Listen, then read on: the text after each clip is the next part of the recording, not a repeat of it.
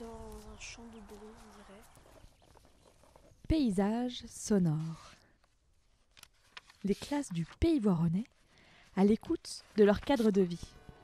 Avec le Pays d'art et d'histoire et Émilie Vadel. Année scolaire 2020-2021.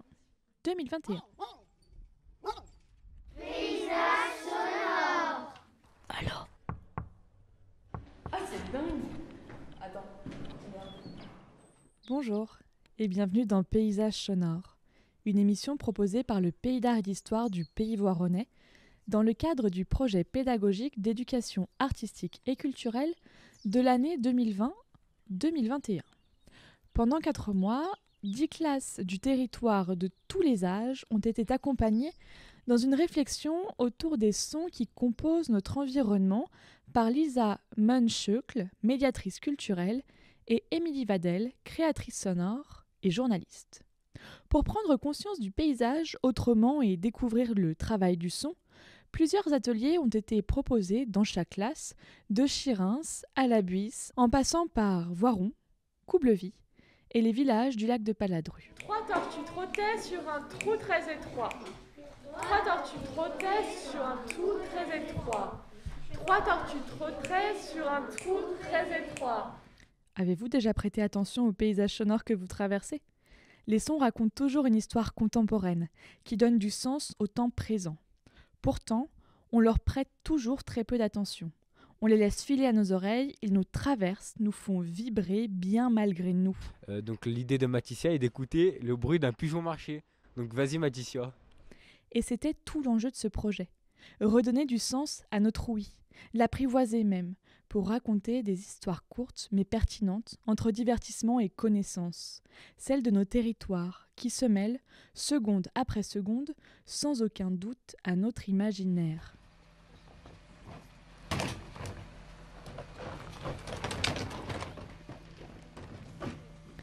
Au sommaire de cette première émission, trois capsules qui conjuguent les paysages sonores à tous les temps.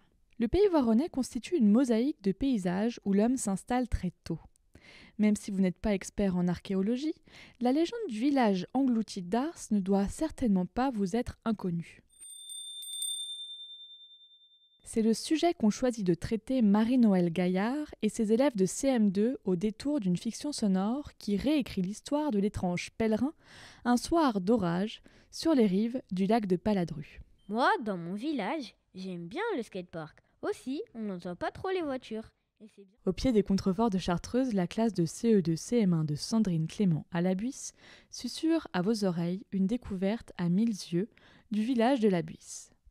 Au fil de notre écoute, on se rend vite compte que c'est un village à la campagne où les ambiances rurales et urbaines cohabitent. Les enfants nous dressent avec leurs mots leurs coups de cœur et leurs expériences, mais aussi le portrait d'une bourgade rurale devenue une petite ville périurbaine aujourd'hui. Tout de suite, retrouvez les élèves de Nathalie Cambon à l'école de Coublevie.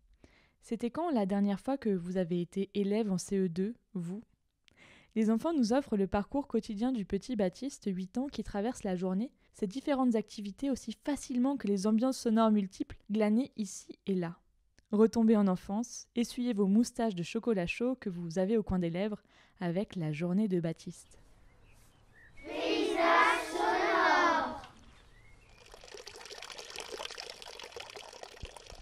Bonjour, je m'appelle Baptiste et je vais vous raconter ma journée à partir du moment où je me lève jusqu'à mon retour à la maison. Je me lève vers 7 heures, je prends mon petit déjeuner, je me prépare pour aller à l'école. Ah, maman, t'as bien dormi?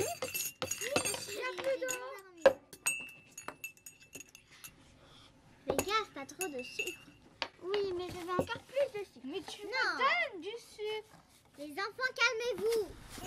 Je sors de chez moi et sur le chemin, je rejoins Lara et nous continuons notre chemin ensemble. Nous traversons un lotissement. Nous traversons une route plutôt dangereuse, puis nous arrivons à l'école.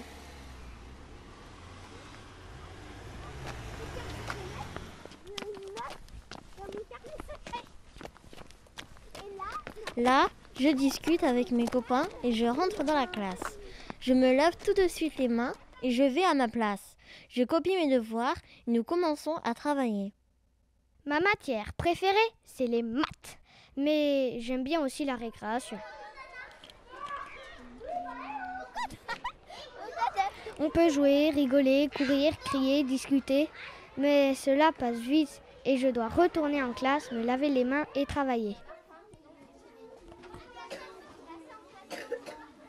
Ensuite, c'est l'heure de manger. J'ai très faim. Je vais à la cantine, j'aime bien. Je joue avec mes copains-copines.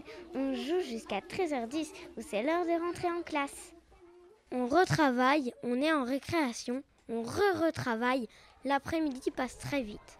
Hier, on a fait des maquettes, on n'a pas eu le temps de finir. À 16h15, je rentre chez moi avec Lara. Maman m'a demandé d'acheter le fromage. J'aime bien le fromage. Bonjour. Bonjour. Je viens pour vous acheter un peu de fromage, s'il vous plaît. je vous en prie, suivez-moi. Je vous écoute. Alors, est-ce que vous avez du parmesan? Oui. On retourne chez nous tranquillement. Parfois, on s'arrête au parc quand il fait beau, comme aujourd'hui. Je suis fatiguée et content de ma journée. Je retrouve mes parents, mes frères et sœurs et mon chien Toto.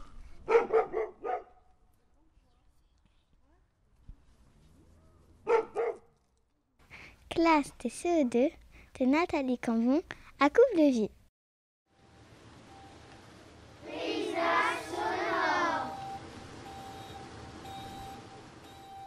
Ambiance beaucoup plus humide à présent, c'est au lac de Paladru qu'on vous transporte, par les oreilles. De la légende à la réalité, de la réalité à la légende. Une émission réalisée par les élèves de CM1-CM2 de Marie-Noël Gaillard, au Pin, village du lac de Paladru, en collaboration avec Lisa et Émilie.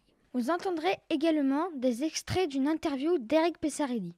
Éric Pessarelli a été chef de fouille à Coltière durant de nombreuses années. Et tu sais quoi? Bah non, quoi Eh bien, mon grand-père m'a raconté que l'été, au bord du lac de Paladru, les soirs de pleine lune, on pouvait entendre sonner la cloche du village d'Ars. Ars Mais c'est le village englouti au fond du lac Moi aussi j'en ai entendu parler de cette cloche. Et moi, on m'a dit qu'il y a des archéologues qui fouillent les fonds du lac pour trouver des vestiges. Eh bien, moi je la connais l'histoire du village d'Ars. Oh oui, Luce, raconte-la nous, s'il te plaît, j'adore les histoires. Il était une fois un pèlerin bien pauvre. Il avait dû marcher toute la journée à voir son air épuisé. Il commençait à se faire tard et la nuit allait bientôt tomber, lorsqu'il aperçut les faisceaux de lumière provenant du village d'Ars, et il entendit la cloche de l'église annonçant la messe. Une fois arrivé aux portes du village, le pèlerin dont je ne connais pas le nom prit la direction de la maison la plus proche et toqua. Hélas, personne n'ouvrit. Les habitants étaient trop occupés à faire la fête, semblait-il. Le pèlerin s'en alla toquer à la maison voisine. Pourriez-vous me donner ne serait-ce qu'un petit bol de soupe et m'héberger pour la nuit? Passe ton chemin, va-t'en. Il frappa à une autre porte, on lui claqua la porte au nez. Ce fut la même scène qui se produisait devant chaque maison. Pourtant, à travers les murs des maisons, le pèlerin entendait des musiques et des gens qui festoyaient. Mais aucun des habitants d'Ars ne lui ouvrit, aucun ne lui offrit son gîte pour la nuit. Il entendit à nouveau la cloche qui appelait les habitants à la messe. Ce pauvre pèlerin s'en alla jusqu'à la sortie du village d'Ars et dut se décider à gravir la colline. Il allait se résoudre à passer la nuit sans toit lorsqu'il aperçut une petite maison délabrée à flanc de colline. Le pèlerin s'approcha, puis toqua. Dans un grincement sonore, la porte s'ouvrit. Dans l'encadrement se tenait une vieille dame. Seigneur, s'écria-t-elle en le voyant, mon pauvre monsieur, qu'est-ce qui vous amène par cette nuit froide? Le pèlerin expliqua qu'au village d'Ars, personne ne lui avait ouvert, et il demanda Pourriez-vous me laisser souper et dormir sous votre toit? Oh, mais bien sûr, répondit-elle, entrez. Le pèlerin entra. Dans la maison, il n'y avait qu'une pièce qui ne contenait qu'une cheminée minuscule où mijotait un maigre ragoût. Il y avait aussi une toute petite table avec deux chaises sur lesquelles une jeune fille mettait le couvert. Dans un coin de la pièce, il y avait également un petit lit en piteux état. Une fois repu, la vieille dame le priait généreusement de prendre le lit pour dormir, pendant qu'elle-même et sa fille se contenteraient d'un tas de paille.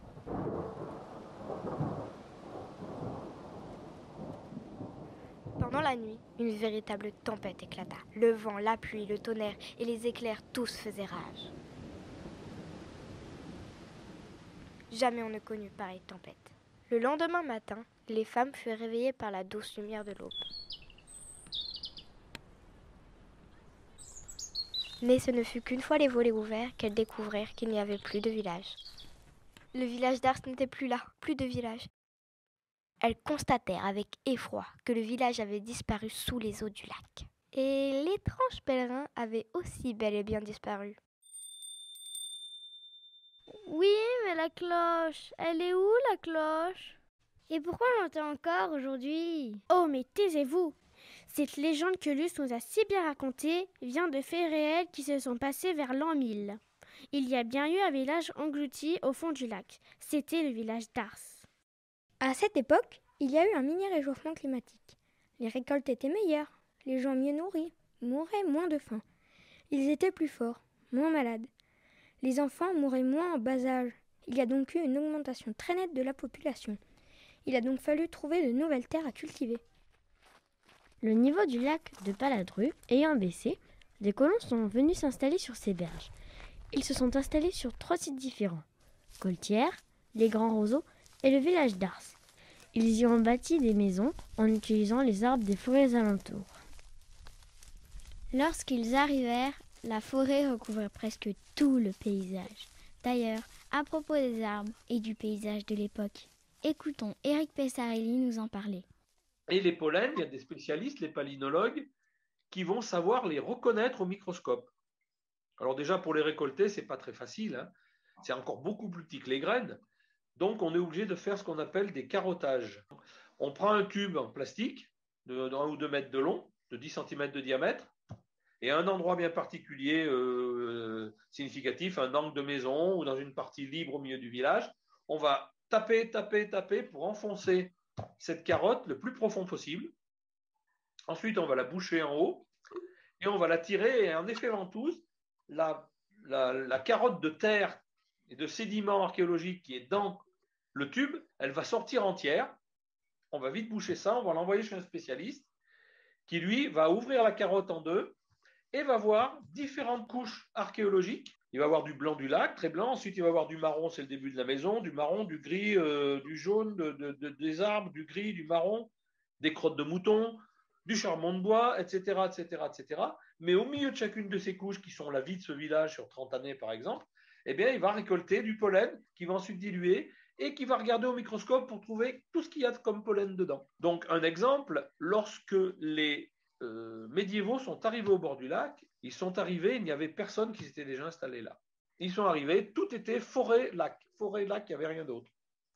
Et sur les tout premiers pollens de la couche en bas, eh bien, on va trouver 90% de pollen d'arbres forestiers, du chêne, du hêtre, du frêne, quelques résineux, de l'érable. Et lorsqu'on va regarder à la fin du village, là où on a le pollen qui correspond au toit de la maison écrasée, on va trouver 25% d'arbres forestiers. Donc ça veut dire que ça a été divisé pratiquement par 3. Il y a trois fois moins d'arbres. Par contre, on va retrouver euh, des pollens de céréales.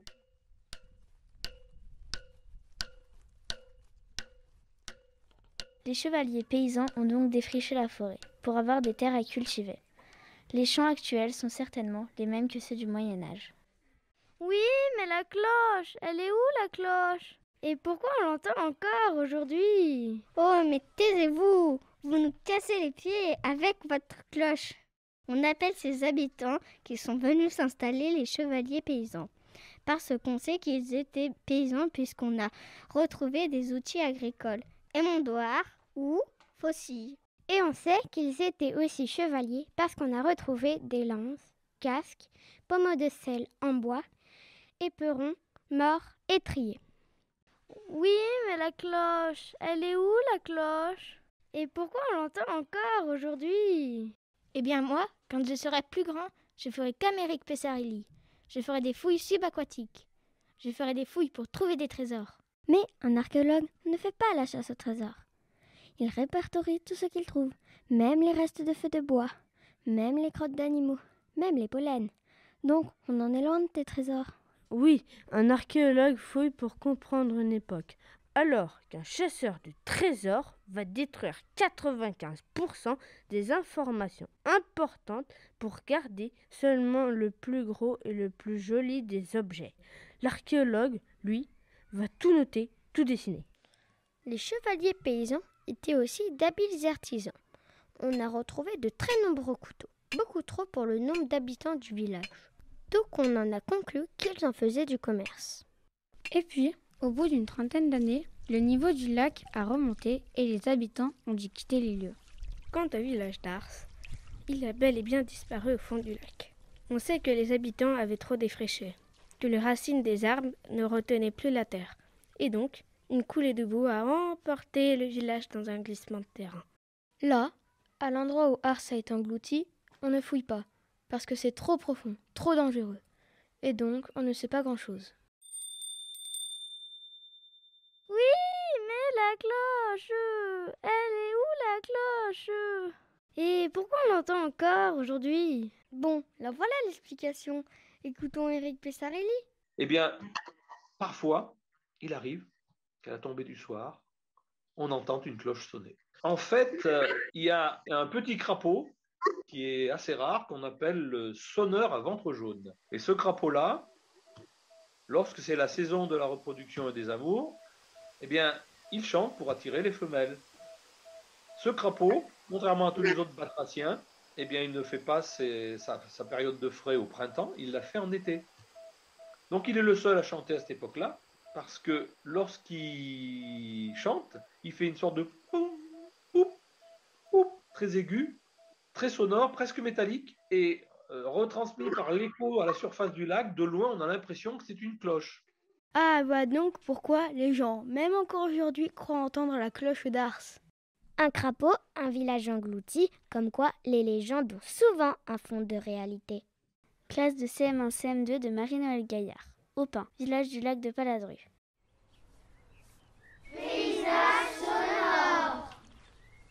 Enfin, pour terminer cette émission, redescendons dans la plaine. Ici, pas de lac, mais une rivière emblématique, l'Isère. Bienvenue à la Buisse. La Buisse est un ancien village déjà habité à la préhistoire dans les grottes sous la falaise. Un couple de buissards vit près de vestiges d'une villa romaine placée là car un cours d'eau l'a traversée. Au Moyen Âge, le bourg est en hauteur, autour d'un prieuré, construit au XIIe siècle, car la vallée est inondable. Dans Wikipédia, il est écrit que le nom de Buxia apparaît dans les textes dès le XIIe siècle, et son origine provient probablement de buis, arbustes très abondants sur les pentes du Grand Raz. Au XIXe siècle, l'eau est canalisée, les ruisseaux redessinés, les nouvelles constructions vont alors elles aussi descendre au pied de la falaise et le centre-ville se recompose là où il se situe aujourd'hui.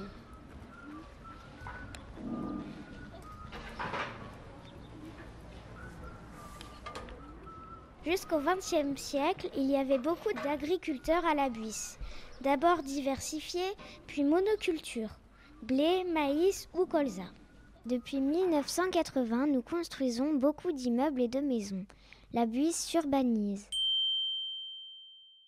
Moi, dans mon village, j'aime bien le skatepark. Aussi, on n'entend pas trop les voitures. Et c'est bien parce que c'est rural et urbain en même temps. On a une école sympa. Après, j'aime écouter et admirer la Buisse.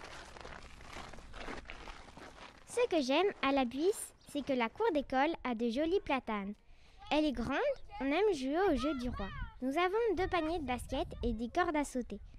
Les couleurs de notre école sont belles. Nous sommes presque 260 enfants dans 10 classes. Notre école s'appelle l'école des mille chemins pour apprendre et comprendre.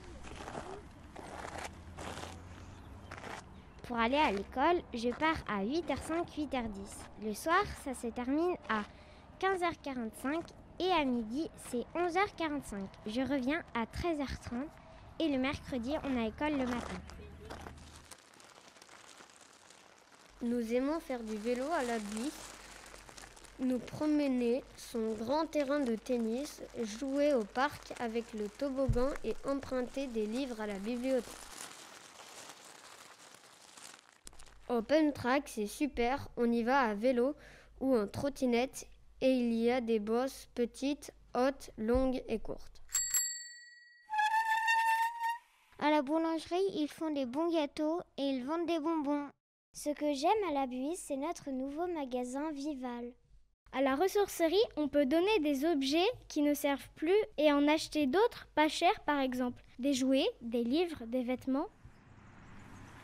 Ce que j'aime pas à la Buisse, c'est la carrière. Elle casse la montagne et ça fait du bruit et de la poussière. J'aime admirer les montagnes qui nous entourent à la Buisse. Chartreuse, Vercors, Beldon.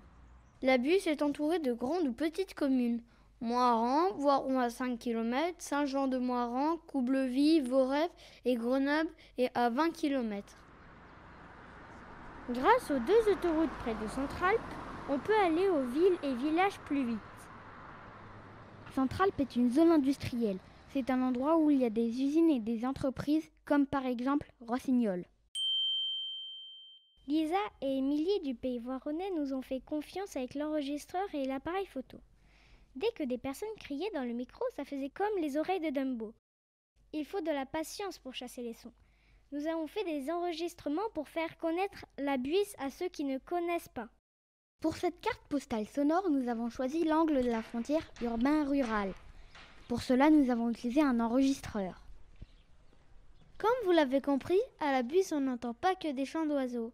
Nous avons tous pris des notes et des photos à tour de rôle par groupe pour nous rappeler ce que nous avons enregistré à la buse.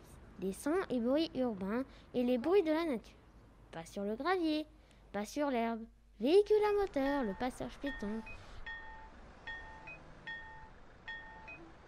le clocher, l'eau de la fontaine très ancienne où on voit des anneaux pour attacher les chevaux. Ça fait du bien de sortir avec le beau temps tout en travaillant, même si pour moi, prendre des photographies et enregistrer, ce n'est pas vraiment travailler. Pour le dernier enregistrement, on a interviewé un commerçant au marché. Il vend de la viande et du fromage. Bonjour madame. Bonjour, euh, écoutez, commence à faire beau? J'aimerais bien des saucisses pour un barbecue, mais je sais pas trop ce qu'il Eh faut. ben, très bien, on peut mettre peut-être des chipots ou des merguez. Ouais, Ça com- serait bien grillé, donc euh, voilà. Combien par personne? Bon, c'est au moins deux par personne. Ok. Euh, c'est très épicé les merguez Non, les merguez, elles sont juste. Nous sommes la classe de CE2-CM1 de Sandrine Clément à la Buisse.